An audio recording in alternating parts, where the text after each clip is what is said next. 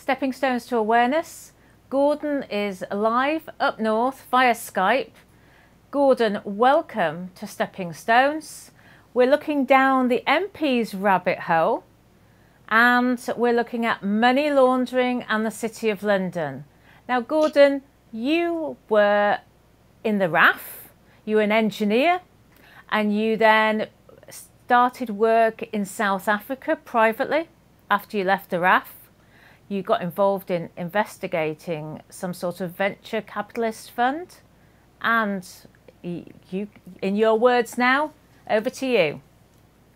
Yeah, thanks, Caroline. Thanks for the invite. Um, yeah, basically, um, my new partner uh, invested in a capital venture scheme, um, the life savings, fifty thousand dollars. Not not big in the in the banking sense, but uh, when when it developed further in investigation, there were many others, hundreds of others uh, involved, and we employed two attorneys of law to do the money trail, which went to Austria and the City of London. And it was through their dossiers, which were presented to the South African police and the Scorpions, who were the anti corruption police, because of the names involved on the paperwork. And they included a gentleman called Christoffel Petrus du Toit, um, who was an ex High Commission diplomatic intelligence officer with quite a history um, in the civil uh, recovery of other people that he defrauded. So we had a, a high political link to the old naughty uh, apartheid regime when these people had free reign and were working quite closely with people in the city of London. And that's what drew my attention to other people, including the security services, a guy called Hannes Venter, who was also on the paperwork, and he was also working with the intelligence services. So this wasn't just a normal fraud with uh, people just trying to make a few quid. These were very highly organized um, intelligence officers who were operating out of the City of London. And this High and, Commissioner, where is was it? Was he? He wasn't British then, but he was no, working out of the city. With a name like Christoffel Petrus du Toit, um, I would take the average person to say, no, he's not, British, not Welsh, and he came from just north of Pretoria. Yeah, right. a naughty man. A naughty man. He was involved through my research training Jonas Savimbi's uh, rebel army with another woman, an intelligence Russian trained intelligence officer called Ayanda Dlodlo. And I found out later on that they were she was working with a bunch of fraudsters who stole my partner's cash. So she lost fifty thousand dollars. Yeah, their life savings. Right, um, which is serious stuff for anybody to lose all their all their proceeds, all their money. So, City of London, you went. Did you then return to the UK? No. What happened? We employed two attorneys of law to do the money trail. They presented a dossier to the Scorpions because when one or uh, more people are involved, it becomes a criminal offence, not just a civil recovery. And then the Scorpions had it for about 18 months and they found uh, they had dead ends. And then I, um, I did my own research and found out uh, the head of operations was working with the main fraudsters. So I knew we were on a dodgy trail, so to speak, being ex military myself. And uh, we received threatening phone calls and a certain intelligence officer rocked up at our restaurant, which we owned, and provided me with a 21 page file, which included the names of those people I was stepping on their toes, um, and threats to return back to the UK, which we did. Right, so you returned back to the UK, and but you continued digging in the City of London, or how did Finchley Road come about? Well, because the, the paperwork for the investment included uh, all the, the money mule, uh, and an accountant, Mr. Dow van der Merwe Viljoen. And he's related to the Viljoens of the old apartheid government. So I knew this wasn't just a normal fraud. This this was high-ranking um, individuals linked to the apartheid regime. So then I used the paperwork of the companies involved, and they launched out of five Harley Place, Harley Street, a company called Smallfield Cody and Co.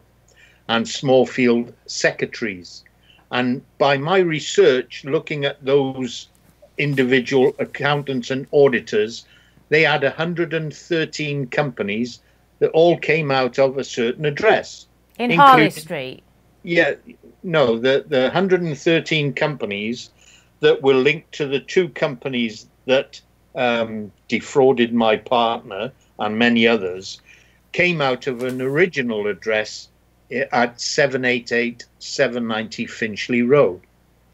And it was my research of that address which led me to many politicians, and I include Tony Blair, David Mackenzie, Donald Mills, Silvero Berlusconi, the Mafia, Amber Augusta Rudd, and many other politicians which I could name, but for the moment I will keep quiet. But it's all in our my research. It's all documented, as in the best forensic documents that you can get is via Companies House. They tell no lies. Wow. Every every director of every company, if you want to do the research, out of 788, 790 Finchley Road, there were 209,000 shell companies. And from my research, which I've done over 17 years, it shows that this is the biggest organized crime system in the world. So this basically, some of these MPs are actually serving MPs, aren't they? Yeah, oh, they they are. I mean, I include when I confronted him, Andrew Griffiths, uh, the, the man that's been caught sending uh, vile text to ladies, a conservative one.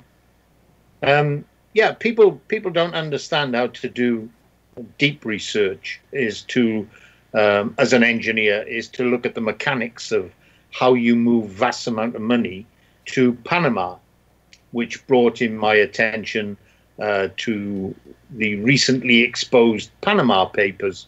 I mean, they were 10 years behind me because I named them 10 years ago. What about the Lux Papers? Are you familiar with those as well? Well, I've, I've researched many of the companies as exposed in the Panama Papers and the Paradise Papers. And that's where I said I'm 100% correct.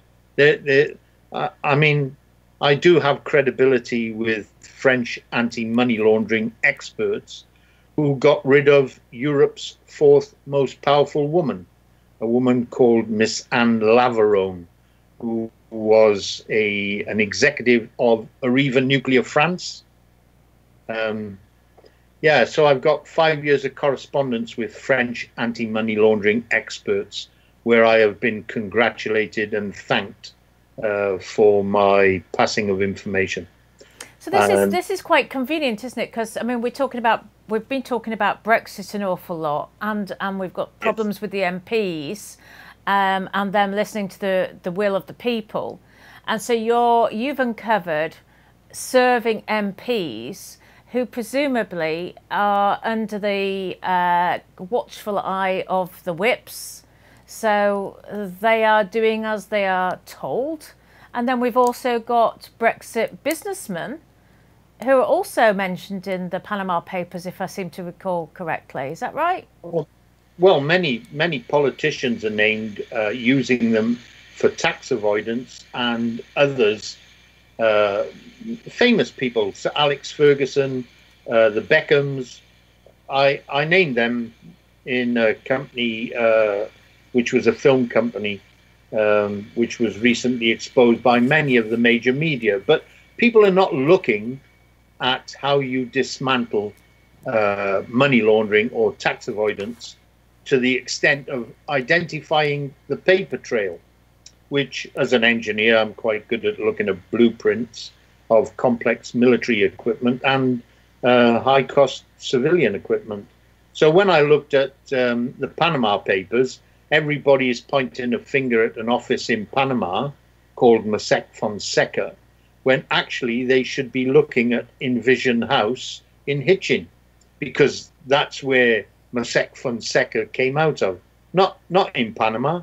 That's just a sub office. And out of the same address is RM Nominees Limited.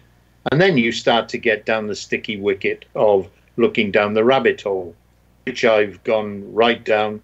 I know all the faces, I know all their conduit addresses. So I know how they've moved hundreds of billions out of this country covertly. And those people, they, although a lot of the newspapers have named some of these um, highfalutin uh, stars like the Beckhams, they've not looked at the mechanisms of how they were conduiting the money out. You can steal billions, and all you need is a pen. However, it's the moving of it that becomes quite complex. And you've got to look at the conduits of how they move the money out. And that's what I've understood over much of 12, 14 years. I've identified the facilitators who uh, action and move the money. And these are the people that need to be exposed, which is what I'm doing. So we're looking at very famous people, we're looking into um, parliamentarians, we're looking at businessmen, and we've got a situation, we've got health crisis, NHS health crisis for funding, we've got various funding issues in the councils, we can't, you know, we can't look after our elderly, and yet all these people, like you mentioned, the Beckhams, are taking their money and now they don't call them tax avoidance schemes, do they?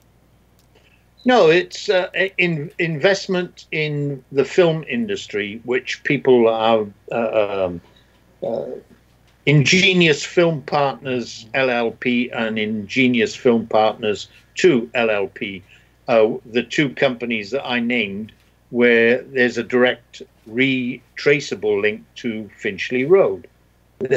I said it, takes time to understand the mechanics of how they interlock to common addresses. But once you see the common addresses, you can then do a overview, like a planned view of who's involved and who who's facilitated the movement of those funds. But These none of this is legal, or is it legal? I, I'd say it is legal, but the, the, the problem arises where these facilitators have been allowed, because of who they're dealing with, to get away with it. Much the same as I reported it to my uh, local MP, who was uh, a, a, Labour MP, Chris Williamson, Derby uh, North. I reported it to him about Finchley Road many, many times he refused to act on it to get us an appointment with um, Boris Johnson at the Foreign Office to expose South African intelligence officers using the City of London to move stolen funds from investors from all over the world. And he refused to do that. And I know why he refused to do it. Because when you check his um, parliamentary interests, uh, that is, people who sponsored him, I found out that he was sponsored by UCATT, which is a, a labor union, was a labor union, and a sub uh, subsidiary company of UCATT was called UCATT Investments Limited. And guess where that came out of? 788 790 Finchley Road. So no wonder he wouldn't do it, and no wonder he's he should be uh, brought before the courts or brought before a police investigation to explain why he wouldn't expose Amber Augusta Rudd, who has many companies that launched out of that same address. Did you mention the name Rudd? You mean as in Amber Rudd? I certainly did. Yeah, Amber Augusta Rudd. I checked her full biography and history of mining companies in on the Toronto Stock Exchange, and that's my expertise is looking at um, cash gutted companies that operate on the Toronto Stock Exchange, the South African Stock Exchange, the Australian ASX, and uh, the UK AIM, which is the alternative investment market. And that's why I launched Pandora's Box Investigations to help investors who have lost hundreds of millions. And they don't realize what it's all about. It's nothing to do with mining, nothing to do with oil and gas. It's all about stealing money, vast amount of money, and moving it to offshore accounts. So let me get this clear. People like Rudd and the Beckhams, are they are they actually shareholders of these corporations? They they were actually non-executive directors and and senior executives of mining companies, which all eventually ended up as cash gutted companies. But nobody would uh, investigate them under the auspices of it being uh, Ponzi scams because they've got so many people in their back pocket who were then even members of the Financial Services Authority and uh, thereafter Financial Conduct Authority and Serious Fraud Office. how, how do you beat the system when they've got it all marked? How so do you beat it? The Financial Conduct Authority is it's the top of the top of the tree, isn't it? Should they? Oh, I'd, I'd say the Serious Fraud Office was the top of the tree, and to understand how um, the SFO was then uh, under the certain lead, leadership. If I can just uh, switch over here, um, I don't know if you can see that. Don't publish addresses. Right, there's no addresses on there, are there? Uh, well, it's it's um, the biography of Barbara Mills, Dame Barbara Mills. Right. Uh, deceased. It's to look at why um, the brother-in-law, David Mackenzie Donald Mills, was never prosecuted in the United Kingdom for setting up front companies for Silvero Berlusconi and the mafia. So who is David? So he was an MP, was he? David Mackenzie Donald Mills it was the brother-in-law of Dame Barbara Mills, and I believe, um, looking at my research, and she was promoted uh, uh, to an appointment at the SFO by none other than Tony Blair. And Tony Blair then moved her to the SFO, and she reluctantly refused. Uh, no, sorry, I'd say reluctantly. She refused to investigate David Mackenzie Donald Mills when he was convicted in the Italian courts of setting up front com- companies out of 788 790 Finchley Road for Silvero Berlusconi and the mafia. So That's not if he was prosecuted in the Italian courts, was he actually yeah. imprisoned in Italy? Oh no, no, no! He got away with it. He refused to go, and so under the time period, he managed to evade uh, uh, the custodial sentence um, by staying away. And then under the time lapse period, it, it was all chucked out. Very clever, but in this country, where uh, uh like myself, as an ex-serviceman I was I was completely uh, gutted when I found out what I found out in South Africa, who was involved with the people that stole my partner's money, and I include our uh, ex-Tory Prime Minister, um, Mrs. Thatcher, and her son. They were being wined and dined by the same people who stole my partner's money in a Johannesburg hotel. That's oh, of course, he did have business links down there, didn't he? Oh, he had more than business links when he was he was convicted of aiding and assisting in the Sierra route. Uh, sorry, in um, the uh, the uh, the case where Simon Mann was jailed. Um, if you remember that one. Simon, Simon Mann. He was arrested with a load of mercenaries in Zimbabwe. Yep and locked up for setting out to do a coup.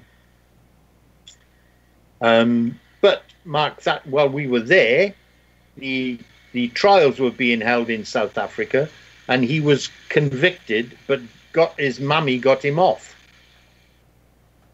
Um, Margaret Thatcher got him off. Yeah, she right. paid a fine, and then he had a suspended sentence.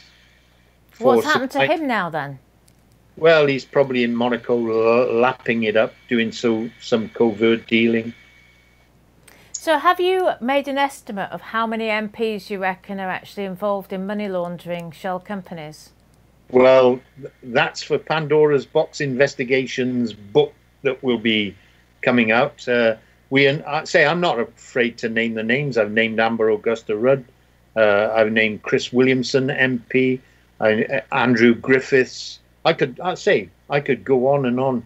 It, it's just it's a dirty world politics. There needs to be, as an ex-serviceman, there needs to be accountability. There needs to be honor, trust, integrity, and there needs to be accountability. Uh, they've got away with it because it's a it's a club and we're not in it, unfortunately. Well, I mean, you know, the disinformation from the mainstream media, insofar as getting Brexit is concerned, Brexit is is just smokescreen and mirrors. You've got all this corruption going on. You've got all the deals going on behind closed doors with the military unification, uh, the trade deals, which obviously some of the MPs must have vested interests in. So it's a case of, hmm, sit back, take a look at the bigger picture and think, why is that MP uh, looking favourably in this particular sector or that particular sector? Are they being lobbied? Have they got personal vested interests? What, like Peter Lilley, or uh, how about? Um, uh, well, I could name a few more, but uh, there's the governor of the Falkland Islands. You know, I could I could name so many. Look at the Falklands. Uh, five companies in the Falklands Desire Petroleum, Falkland Oil and Gas, Rockhopper Resources, Argos Exploration, Border and Southern. They've cash burned 1.5 billion pound. And do you know what? How much oil they found? Not a thimbleful.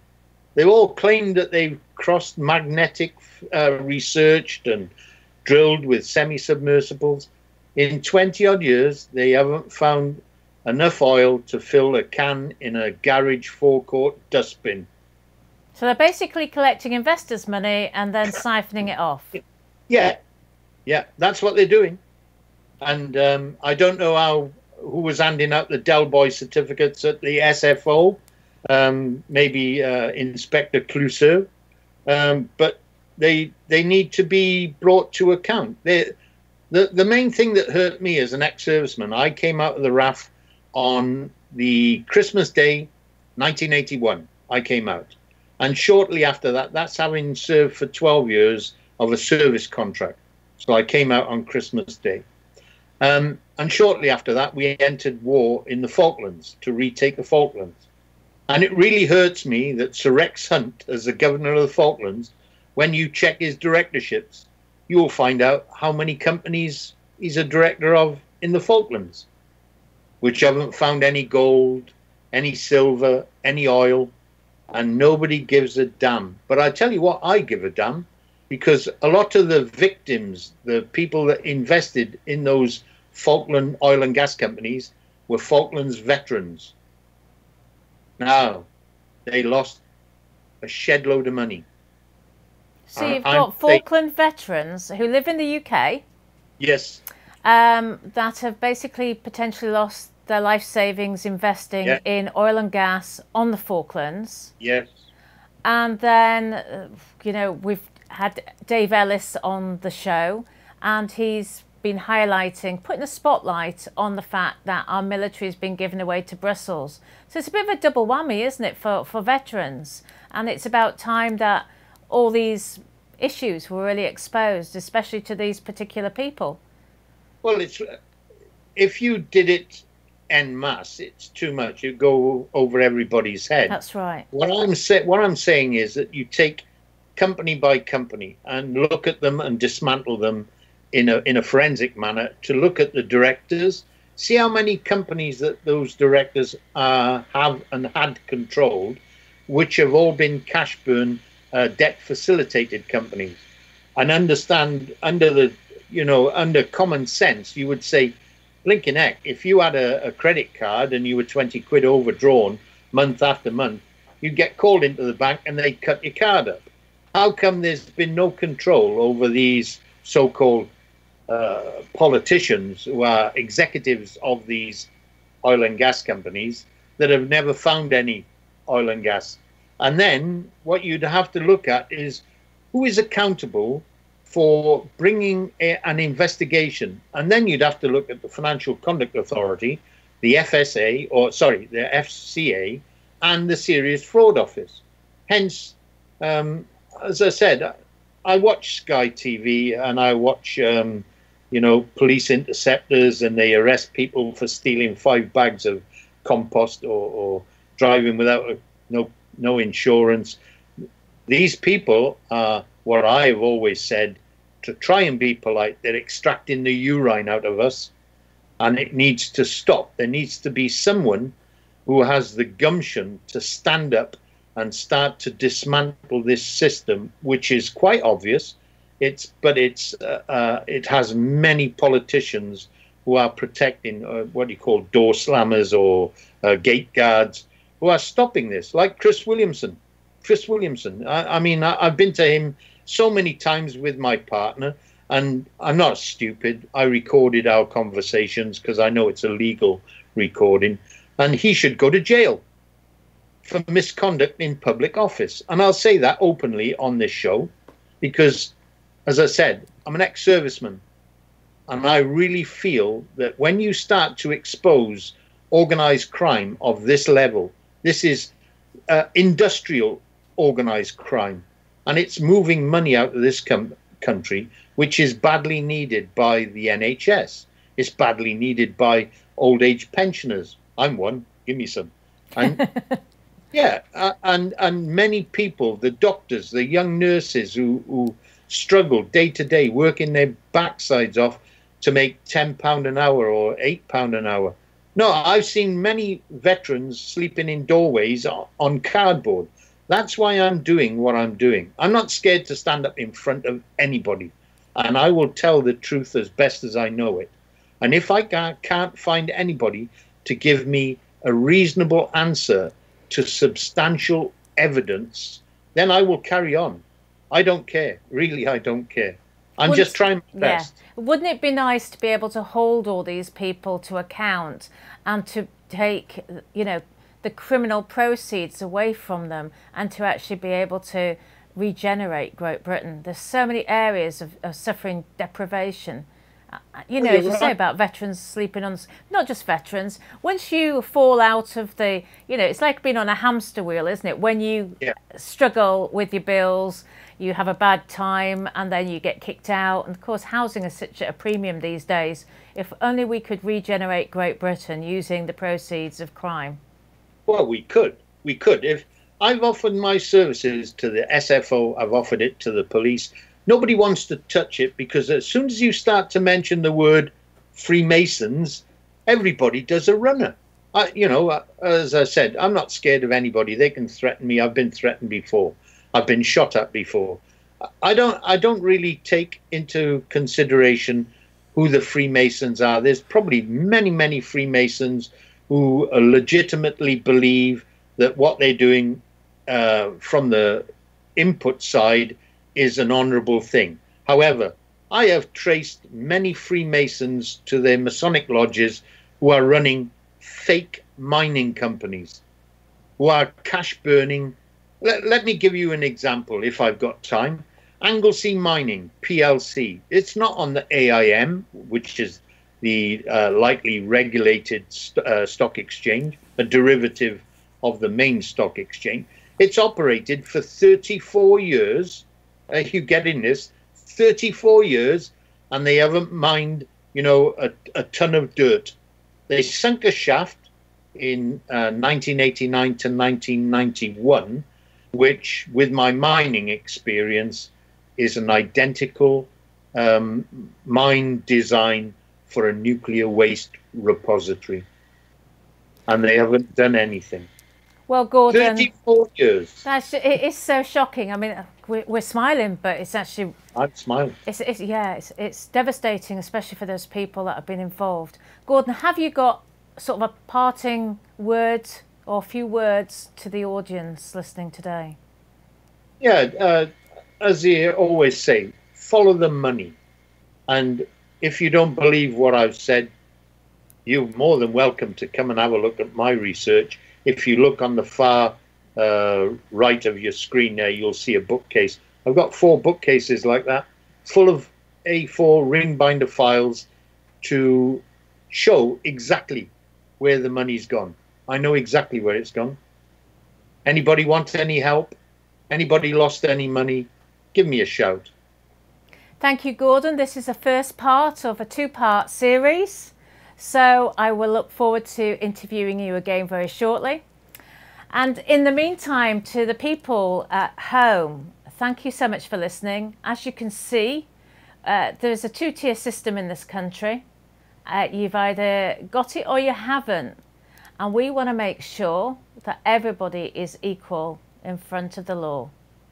Thank you for listening, and I hope to see you again on a Stepping Stones to Awareness show. Goodbye.